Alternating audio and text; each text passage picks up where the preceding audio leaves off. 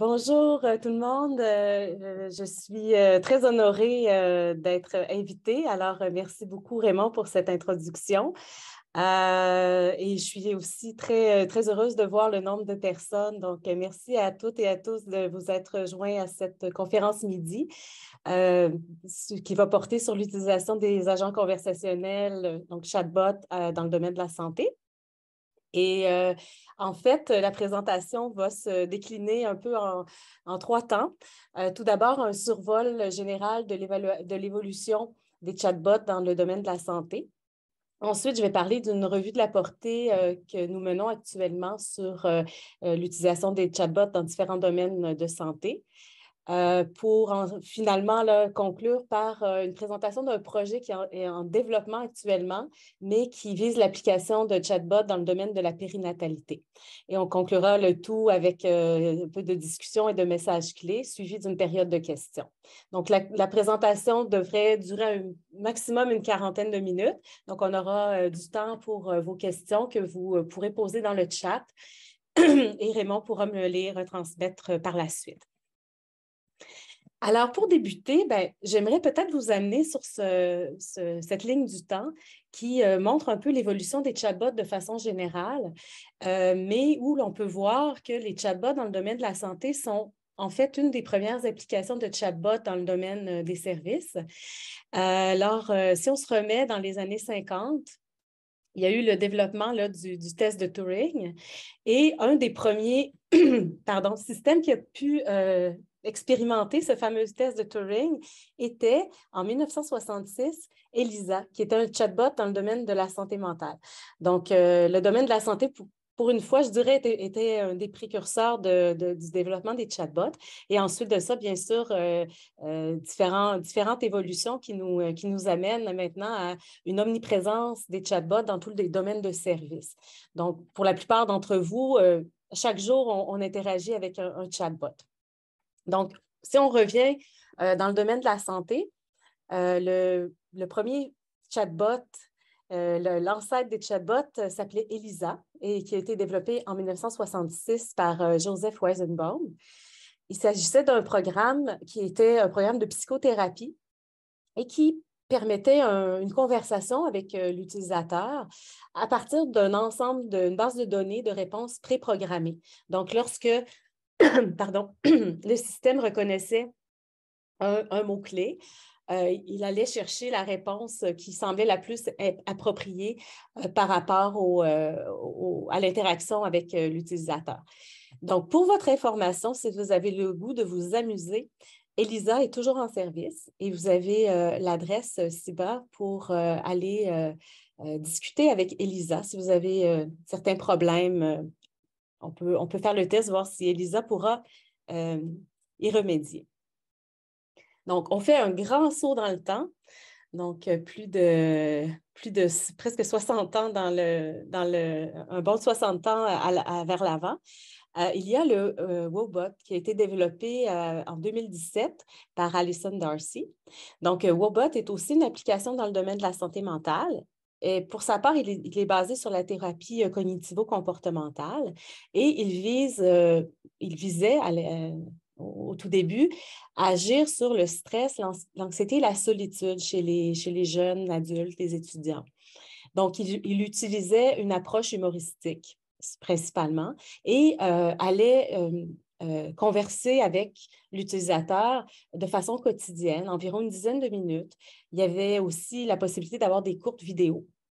Donc, euh, Wobot, qu'est-ce qui le distinguait, euh, qu'est-ce qui le distingue parce qu'il était encore en, en, service, c'est qu'il avait, avait la, possibilité de solliciter l'usager. Donc, ce n'était pas, pas un système passif. Donc, euh, Wobot a été aussi appliqué à différentes euh, problématiques. Donc, récemment, il a même été appliqué dans le domaine de la, dépression postpartum. Donc, on va revenir tout à l'heure avec notre projet en périnatalité, mais c'est un chatbot qui est toujours vivant aussi, qui continue d'évoluer. Je vous ai présenté seulement deux exemples. Alors, des, des ELISA et des Wobot, il y en a là, des dizaines et des dizaines et des dizaines qui existent actuellement sur le marché. Donc, on entre dans ce fabuleux monde des chatbots en santé. Euh, ce qu'on peut remarquer par rapport à l'évolution des chatbots en santé, c'est que les chatbots de première génération, ils étaient vraiment statiques. Ils étaient basés sur un ensemble de règles ou à l'aide de reconnaissance de mots-clés, on allait trouver la phrase euh, la plus appropriée à ce que l'usager euh, nous envoyait comme, comme information. Donc, c'était un chatbot passif. Les chatbots actuels, eux, euh, ont, intégré le traitement automatique du langage naturel. Donc, ils sont vraiment capables euh, d'aller euh, rechercher un ensemble de mots et d'agencement de mots pour faire plus de sens au, bout de, au, morceau de texte ou de, ou de voix. Hein. Il y a des chatbots vocaux aussi qui sont, qui sont présentés par l'utilisateur, avec l'apprentissage machine également qui est intégré. Donc, euh, le, chatbot va, évoluer en fonction euh, du feedback des utilisateurs. Donc, est-ce que, est que j'ai répondu, bien répondu à votre question? Alors, lorsque c'est oui, euh, ça va permettre au système de renforcer ce, type de réponse-là. Et lorsque c'est non, donc le système va éviter ce type de réponse-là. Donc, on voit, on, sait, on est vous êtes certainement plus expert que moi et experte que moi en IA. Euh, Ce n'est pas l'IA pure. Il y, a des, il y a des fonctions de, l'IA. Il y a beaucoup de possibilités également qui restent à, exploiter, je crois. L'autre aspect des chatbots récents, c'est le côté euh, d'engagement actif. Donc, au lieu de euh, l'utilisateur qui dit je vais aller poser ma question au chatbot, le chatbot peut nous solliciter à différents moments. Donc, il y a ce côté-là qui, euh, peut paraître peut-être intrusif euh, dans, certaines conditions. Si on est dans, le domaine de la santé mentale, par exemple, euh, ce n'est pas nécessairement toujours le bon moment de le faire, mais par contre, dans notre projet en périnatalité, on peut explorer si le fait, par exemple, de faire des, rappels à certains moments de la journée où on sait que c'est plus difficile pour, pour les nouveaux parents, est-ce que ça pourrait être un avantage? Le chatbot, donc, euh, euh, peut aussi euh, détecter l'humeur, soit par les, mots, soit par la voix, soit par aussi en incluant des, objets connectés. Donc, si c'est sur les, téléphones intelligents, ben, on peut voir les activités qui sont faites par l'utilisateur et identifier des états émotifs, des états d'humeur qui vont permettre aussi de, donner un feedback pour ajuster davantage les réponses aux usagers. Alors, quelques avantages, bien entendu. Oups, je suis vraiment désolée. Euh, c'est parce que je vois les, les, gens qui, sont, qui veulent rentrer dans la, salle et ça me, ça me cachait. Donc, euh, quelques avantages euh, que j'ai pu recenser dans la littérature, mais il existe beaucoup, beaucoup de littérature si, si ça vous intéresse. Donc, Premièrement, le premier avantage, c'est vraiment le côté euh, d'ubiquité euh, des chatbots. Donc, ils sont accessibles en tout temps, en tout lieu. Il suffit d'une connexion Internet euh, pour avoir accès à ce, service. Il y a aussi la possibilité d'avoir accès à certains services à distance, certains services de santé. Si on prend le domaine des, des, interventions en, psychothérapie, en santé mentale, il existe des programmes qui sont entièrement euh, automatisés, donc qui se, déroulent entièrement avec un soutien d'un chatbot ou d'un agent, euh, virtuel où il n'y a pas, euh, d'humain qui, interagit. Ce n'est pas le cas de la majorité des services. souvent, le chatbot va être un complément qui va pouvoir amener ensuite l'usager à contacter des ressources professionnelles. Ce sont des outils qui sont familiers. Donc, euh, comme euh, la plupart d'entre vous, euh, dans nos communications de tous les jours, on a accès à, on, est en, interaction avec différents systèmes d'agents conversationnels. Un autre avantage qui, qui semblait intéressant, c'est surtout en période euh, d'infodémie, c'est que les chatbots pourraient aussi être un outil pour contrer la désinformation. Si c'est un chatbot qui vient d'une source fiable, donc si les gens ont des doutes par rapport à, des informations euh, contradictoires qui sont euh, véhiculées, donc ils pourraient avoir la possibilité d'aller consulter le chatbot. J'ai entendu dire que bon, les vaccins pouvaient causer des séquelles neurologiques importantes. Euh, est-ce que c'est vrai? Donc, le, chatbot peut être la, source de, confiance, si on veut, pour euh, euh, la population par rapport à des, questions de santé publique, par exemple. Et le chatbot peut s'adapter aussi aux utilisateurs. On a vu tout à l'heure avec les, les, modèles plus contemporains la possibilité de, s'ajuster selon les, caractéristiques de l'utilisateur. donc, c'est un avantage. Le chatbot peut ajuster le ton avec lequel il va parler, si c'est un jeune, donc plus informel, avec l'humour, si c'est une personne un peu plus âgée, avec euh, plus formel, est-ce qu'on utilise le vous, le tu? Donc, ce sont des choses euh, que le chatbot peut faire, euh, j'allais dire instinctivement, dans son instinct de machine. Mais ce qui est vraiment un aspect important, un avantage majeur, surtout lorsqu'on est dans des domaines un peu plus sensibles. On pense à, bien sûr, la santé mentale, Parfois aussi les questions en périnatalité, la sexualité, la consommation de substances. Donc, les chatbots ne jugent pas. Alors, pour euh, un, usager qui a, besoin d'informations dans des domaines un peu plus sensibles, c'est vraiment une porte d'entrée euh, très accessible pour répondre à des questions euh, de santé. Pardon. il y a certaines limites. Hein, tout n'est pas rose au pays des chatbots.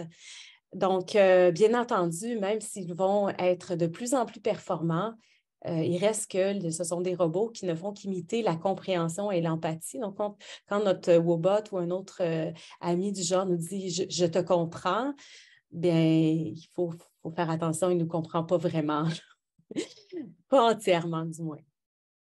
Et il y a toujours le risque de causer des frustrations et même des, effets néfastes lorsqu'il y a des erreurs. Donc, si notre chatbot n'est pas euh, fiable à 100% et amène euh, des réponses erronées, on est dans le domaine de la santé. On est dans un domaine très, très sensible. Et si jamais l'information que l'usager reçoit, elle n'est pas, euh, pas validée, il y a des problèmes qui peuvent se présenter. Et euh, aussi, c'est d'autant plus vrai lors de situations de crise ou de situations habituelles. Lorsqu'on sort, un peu du cadre d'apprentissage du chatbot, euh, ce n'est plus l'outil idéal. Donc, bien entendu, la recommandation qui, est jointe à ça, c'est de toujours avoir euh, une façon ou une, ressource là, qui peut, intervenir dans des cas où le chatbot est dépassé par, par les informations qu'il reçoit. Alors, une petite pause gorgée d'eau. Nous, on s'intéresse euh, avec mon équipe depuis quelques années, je dirais environ deux, trois ans, au chatbot. Euh, c'est arrivé avec euh, des collaborations. On faisait certains projets en santé numérique, implication des, citoyens, des patients. Donc, c'est devenu une, une, idée qui a germé un peu avec un projet qui est financé par l'Obvia, euh, qui s'appelle Comvip. Et on avait des, participants euh, qui nous ont amenés sur cette possibilité-là. Est-ce qu'on pourrait développer des chatbots pour aider les, citoyens, les citoyennes, les patients et patientes à naviguer à travers différents euh, services en santé? Donc, on a commencé le travail il y a un petit peu plus d'un an maintenant à essayer de, faire un survol de la littérature. On s'est rendu compte qu'il existait déjà plusieurs revues systématiques qui portaient sur euh, les chatbots en santé. Donc, euh, mais euh, ces connaissances-là, les revues étaient souvent fragmentées. Par exemple, elles, allaient porter sur un domaine spécifique, comme les chatbots en santé mentale. Donc, il existe une revue là-dessus. Et nous, ce qu'on voulait faire, c'est d'avoir une vue d'ensemble vraiment sur toutes les applications qui pouvaient exister. Alors, on s'est lancé euh, avec cette question en tête, quelles sont les utilisations des chatbots pour euh, la promotion, la prévention et les soins de santé? C'était euh, un travail assez colossal, comme vous pourrez voir, mais qui a mené à tout récemment la publication du protocole de recherche qui, a été publié dans le Journal Medical Internet Research, Research Protocols par euh, Maxime Sasseville, qui, est un chercheur, professeur à la faculté des, sciences infirmières, euh, avec, avec lequel nous avons travaillé en duo et toute notre équipe euh, ici, dont vous voyez les noms, a réalisé cette, cette revue, de, revue de la portée, un scoping review, examen de la portée. Et puis, ce, ce travail-là nous a amené à vraiment aller explorer. Là, ici, je vous présente un petit peu qu'est-ce qu'on cherchait. Donc, on prenait vraiment toutes les applications de chatbot pour les patients, les citoyens. Donc, on n'était pas limité nécessairement au domaine de la santé. Donc, on pouvait avoir des chatbots qui n'avaient pas été développés par un hôpital, mais qui venaient, par exemple, d'un organisme communautaire, en autant que la, visée touchait la santé, la promotion, la prévention ou les soins. La seule exclusion qu'on avait était les professionnels de la santé. On exclut, par exemple, les chatbots qui étaient utilisés pour l'aide au diagnostic médical. Donc, ceux-là, on ne les a pas euh, intégrés dans notre revue. Donc, aussi pour l'intervention, on s'intéressait à des chatbots bidirectionnels. Lorsque c'était seulement un chatbot, euh, je sais qu'il y en avait dans le cadre aussi de la COVID, où on rentrait euh, des symptômes, puis le chatbot nous amenait vers un, diagnostic ou un, pré, un préclassement de où est-ce qu'on devrait se renseigner, mais il n'y avait pas un échange euh, c'était seulement l'utilisateur rentre des données et le chatbot donne une réponse. Donc, ça, on ne l'a pas considéré non plus. Il fallait vraiment qu'il y ait des échanges. Donc, pas seulement une question, une réponse, mais une série d'interactions. Donc, vraiment des interactions bidirectionnelles. Euh, pour ce qui était des interventions de comparaison, donc euh, ça pouvait être n'importe quoi. Donc, soit on comparait l'utilisation d'un chatbot à rien du tout, l'utilisation d'un chatbot à l'utilisation d'un humain, ou deux, différentes technologies euh, qui pouvaient, ou deux différents types de chatbots. Ça pouvait être chatbot A, chatbot B qui avait une fonctionnalité supplémentaire, on les incluait. Les outcomes, aussi, on a été très large. On a regardé tous les outcomes qui étaient rapportés par les auteurs. Donc, les outcomes, ce sont les résultats d'intérêt, que ce soit au niveau de l'usager, la satisfaction, l'acceptation, au niveau des, des, structures de santé, l'utilisation des ressources, que ce soit les, visites euh, évitées, par exemple, euh, les coûts, et aussi les effets sur la santé. Est-ce que le fait d'interagir avec un chatbot en santé mentale a permis une réduction des symptômes dépressifs ou d'anxiété, par exemple? Au niveau des euh, S, parce que là, c'est le fameux PICO. Ceux qui ne connaissent pas le monde des revues systématiques, alors c'est la façon dont on, organise nos informations pour une revue systématique.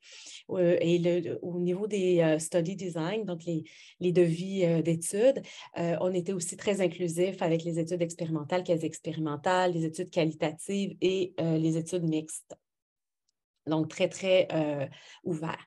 Alors, je vous ai montré, on a publié le protocole euh, la semaine dernière. Or, le travail est quand même très, très avancé. Je vous dirais, la réalité du monde de la publication fait en sorte qu'il y a de très longs délais. Euh, alors ici, c'est ce qu'on appelle le, diagramme de flux euh, de notre processus de revue systématique.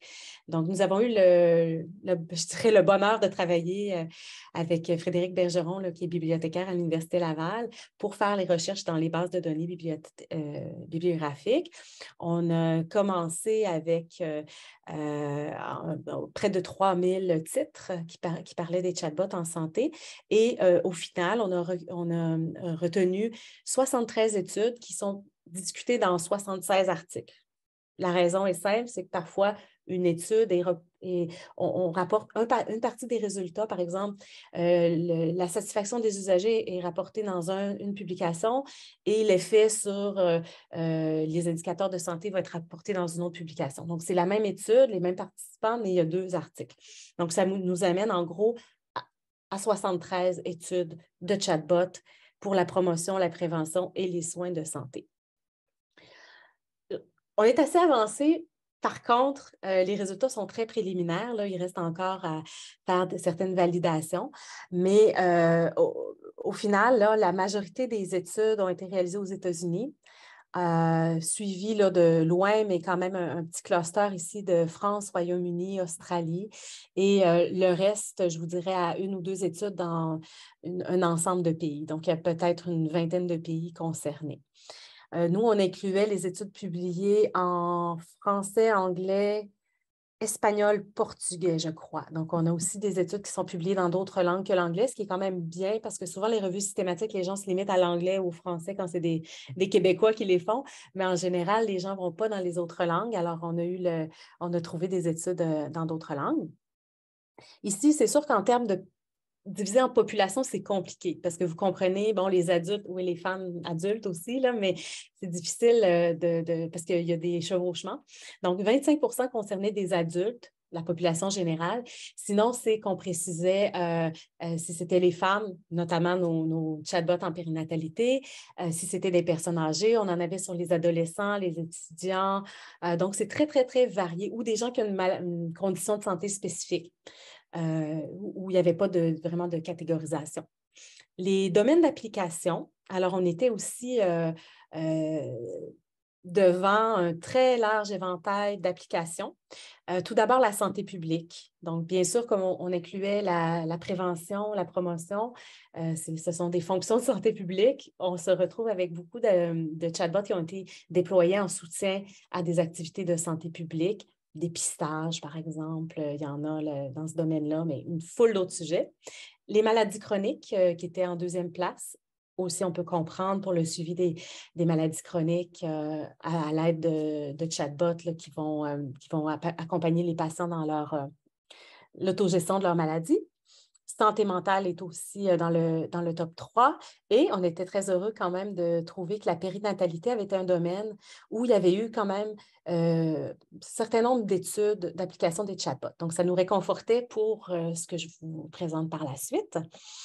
Donc, Résultat sommaire, euh, euh, petite euh, conclusion très préliminaire. Donc, ce qu'on s'est rendu compte en explorant cette vaste littérature, c'est qu'il y a quelques chatbots, je vais montrer deux exemples au tout début, qui existent depuis fort longtemps et qui ont été adaptés. Donc, ce sont des chatbots qui ont été développés par des équipes. Ici, je vous cite un chercheur qui est le plus actif dans le domaine du développement des chatbots en santé, c'est Bickmore et son équipe. Donc, leur système a été appliqué à une dizaine, je pense. Donc, ils sont passés de, de, l'anxiété au, dépistage du, euh, du, cancer du sein. J'en passe plein de, possibilités de domaines d'application avec un système qui est toujours adapté aux réalités des usagers. Donc, c'est vraiment une équipe très prolifique sur ce plan-là. Le problème, je dirais, c'est que la grande majorité des études comportent des limites importantes. Tout d'abord, les petits échantillons. Euh, on a vu des études où il y avait euh, même pas 10 participants. Et euh, l'absence de masquage, donc ce n'est pas des études qui sont réalisées à l'insu. Vous me direz, c'est peut-être compliqué de dire à quelqu'un, ben, tu es en face d'un humain ou tu es en face d'un robot.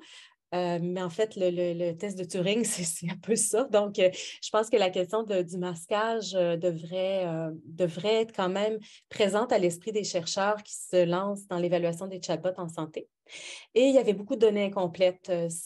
Le suivi à long terme, un, un, utilisateur d'un chatbot pour avoir des renseignements sur un test de dépistage, par exemple, une fois qu'il a fini son interaction avec le chatbot, c'est très difficile d'avoir des, données euh, un petit peu plus longitudinales sur les effets de cette interaction-là technologique pour la prise en charge de la santé, par exemple. Donc, beaucoup, beaucoup encore d'études de faisabilité, d'études pilotes.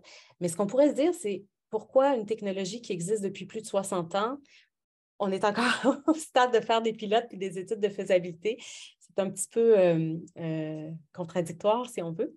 Et il y a encore très, très peu d'effets euh, documentés sur des indicateurs de santé. On reste encore dans la faisabilité, acceptabilité, fidélité. Donc, on est, vraiment sur des, des outcomes de processus, si on veut.